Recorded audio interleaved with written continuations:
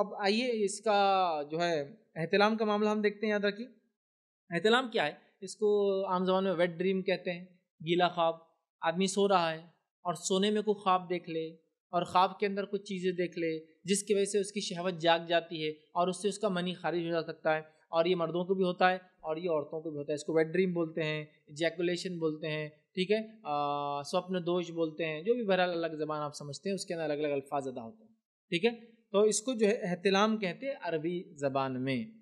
مرد اور عورت خواب دیکھے اور خواب کے ذریعے ان کا جو ہے خارج ہو جائے مادہ، ٹھیک ہے، جو ان کے جو ہے پرائیویٹ پارٹ سے نکلتا ہے جو ہے شرمگاہ سے نکلتا ہے۔ تو یاد رکھیے، اس سے روزے کا کوئی تعلق نہیں ہے، روزہ بالکل درست ہے۔ اس کا تعلق طہارت سے ہے، تو غسل کر لے، باقی معاملہ صحیح ہے۔ روزے پہ اس سے انشاء اللہ العزیز کوئی فرق نہیں پڑتا اور اس پر امت کا اجماع ہے، اس میں کسی کا بھی اختلاف پایا نہیں جاتا ہے۔ ٹھیک ہے؟ چونکہ کسی کا بھی اختلاف نہیں، میں سمجھتا ہوں بات بڑی واضح اور کلیئر ہے۔ ٹھیک ہے؟